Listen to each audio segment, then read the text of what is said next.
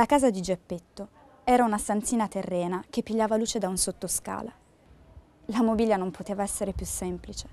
Una seggiola cattiva, un letto poco buono e un tavolino tutto rovinato. Nella parete di fondo si vedeva un caminetto col fuoco acceso, ma il fuoco era dipinto e accanto al fuoco c'era dipinta una pentola che bolliva allegramente e mandava fuori una nuvola di fumo che pareva fumo davvero. Appena entrato in casa Geppetto prese subito gli arnesi e si pose a intagliare e a fabbricare il suo burattino. Che nome gli metterò? disse fra sé sé. Lo voglio chiamar Pinocchio. Questo nome gli porterà fortuna. Ho conosciuto una famiglia intera di Pinocchi. Il più ricco chiedeva l'elemosina quando ebbe trovato il nome al suo burattino, allora cominciò a lavorare a buono e gli fece subito i capelli, poi la fronte, poi gli occhi. Dopo gli occhi gli fece il naso, ma il naso appena fatto cominciò a crescere. E cresci, cresci, cresci, diventò in pochi minuti un nasone che non finiva mai. Le avventure di Pinocchio di Carlo Collodi ci portano dritti a Campi Salentina, in provincia di Lecce, dove per l'undicesimo anno consecutivo si svolge la città del libro. Per quattro giorni tutta la cittadina accoglie gli editori locali e nazionali, da Dedalo a Inaudi, da Besa a Longanesi. In questa particolarissima puntata di Asterisco tratteremo diversi argomenti, ascolteremo diverse voci e diversi autori. Parleremo di diritti umani, ascolteremo delle storie di alcuni eh, defunti raccolti proprio in un libro di Manni, parleremo di Pier Giorgio Di Freddi e il suo matematico impertinente. Ascolteremo Maria Teresa Ruta e il suo libro direttamente dall'Isola dei Famosi e ancora il consiglio, l'agenda degli appuntamenti della settimana e la classifica dell'Istituto Demoscopea di Milano per tutto i libri della stampa. Sono la buonanima di Agostino Scampanato, morto con l'aiuto del Signore a quasi 82 anni. Ho vissuto abbastanza per vedere il mondo fatto a pezzi due volte e due volte aggiustato. È l'incipit di uno dei racconti contenuti nel libro edito da Manni dal titolo Terra dei passati destini di Sergio Damaro. 19 racconti e un glossario per raccontare la vita e le storie di persone che hanno vissuto più di un secolo di storia meridionale, il tutto raccontato con un linguaggio molto asciutto, semplice, proprio dei popolani. Conosciamo così Pelle di Capra, Nespolone, ma anche la Traviata e la Vestitrice di Morti, la buonanima di Maria Stella Spinapulci, detta Maria Consolatrice dei Morti Passati, mandata sulla terra per servire cristianamente gli uomini e le donne che avevano lasciato il mondo per l'ultimo viaggio. Un libro molto particolare da consigliare a chi è interessato alla vita di altri tempi.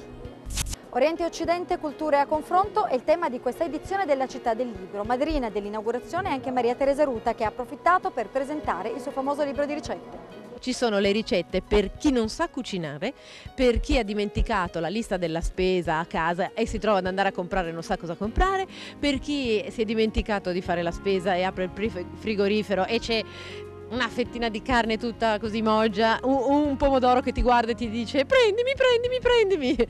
Per chi cucina con le scatolette, perché non ha tempo, perché veramente non è capace ed è un caso disperato perché vuole aprire la scatoletta ma gli resta la linguetta in mano, per chi invece deve arrivare a fine mese e quindi la cucina degli avanzi che è importantissimo ottimizzare eh, quando ci sono altre cose da comprare a casa e soprattutto la cucina dei colti di sorpresa, ovvero finalmente lui viene a cena da te. Genocidi, crimini di guerra, tortura e violazione dei diritti in nome della sicurezza. Di questo parliamo nel libro di Antonio Cassese, edito dalla Terza dal titolo I diritti umani oggi. L'esperto di diritto internazionale ci spiega come e perché la dignità umana è negata in diverse parti del Paese. Un argomento che interessa le associazioni religiose o sindacali, ma anche organismi privati e non governativi che si adoperano continuamente perché i governi si adattino alle norme internazionali a difesa dei diritti. Il libro entra nel vivo del problema, lo inquadra storicamente e ci spiega le origini e l'importanza dei diritti umani e i limiti della pretesa di applicarli universalmente. I matematici hanno vinto la guerra. I matematici hanno decifrato i codici segreti giapponesi e fabbricato la bomba atomica. I matematici. Come voi. L'obiettivo dichiarato dei sovietici è il comunismo globale. In medicina o in economia, nella tecnologia o nello spazio, gli schieramenti si stanno delineando. Per trionfare, noi abbiamo bisogno di risultati. Risultati pubblicabili e applicabili. Ora, chi fra voi sarà il prossimo Morse. Il prossimo Einstein. Chi fra voi sarà l'avanguardia della democrazia, della libertà e della ricerca? Chi è il matematico impertinente? Beh, matematica impertinente sarei io in realtà, eh, ma eh, sono soltanto un, un, individuo di una specie. Sono, eh, matematica impertinente significa che è anzitutto impertinente, cioè eh, non tanto come eh, modo di presentarsi, cioè rompiscatole, ma eh, più che altro che dice cose che non appartengono direttamente alla, alla sua competenza. E infatti nel, nel, mio libro io parlo di, di, politica, di religione, di letteratura, di arte, no? che non sono proprio le cose tipiche di cui eh, si interessa un matematico. O a tutti e due. Poi un po' di aperitivo.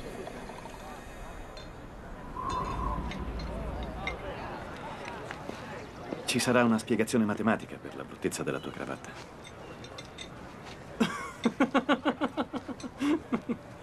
Ora il motivo però eh, per farlo è per l'appunto perché si è matematici, cioè perché eh, si ha eh, in mano eh, uno strumento di analisi che è per l'appunto eh, la, la, logica in particolare e la matematica in generale. Quindi io cerco di guardare a queste discipline, a queste parti della cultura eh, con un occhio un po' nuovo, no? che è appunto quello del, del matematico, cercando di trovare degli spunti un po' diversi da quelli soliti. Ma guardatelo. Nash!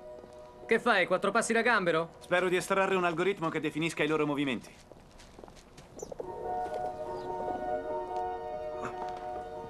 È pazzo?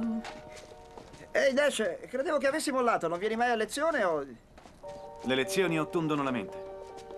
Distruggono il potenziale della creatività vera.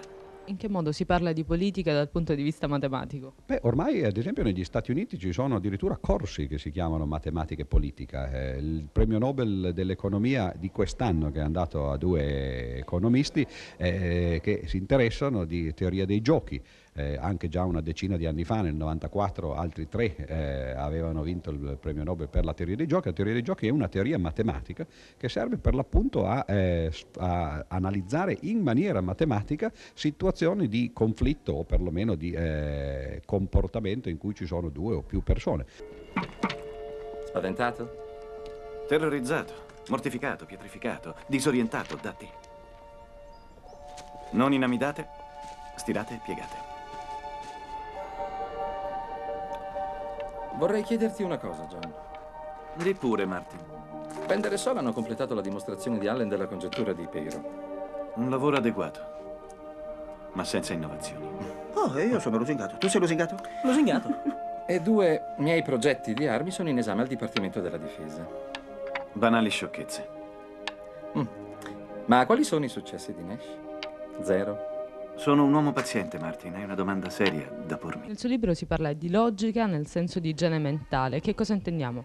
Ma la logica serve un pochettino a quello. Noi spesso nelle nostre eh, discussioni, nelle nostre opinioni eh, andiamo avanti un po' eh, per istinto, visceralmente, però eh, appunto eh, c'è, c'è, anche un altro modo di affrontare eh, non soltanto, come dicevo prima, appunto politica o religione o arte, ma anche la, la vita quotidiana ed è per l'appunto un, un, approccio razionale. E la logica serve proprio a questo. La logica è la codifica, la codificazione del, delle regole no? e con un po' più di logica forse il mondo sarebbe un po' più vivibile. La mia ricerca mi ha spinto attraverso la fisica, la metafisica, l'illusione e mi ha riportato indietro. E ho fatto la più importante scoperta della mia carriera. La più importante scoperta della mia vita. È soltanto nelle misteriose equazioni dell'amore che si può trovare ogni ragione logica. Io sono qui stasera solo grazie a te. Tu sei la ragione per cui io esisto.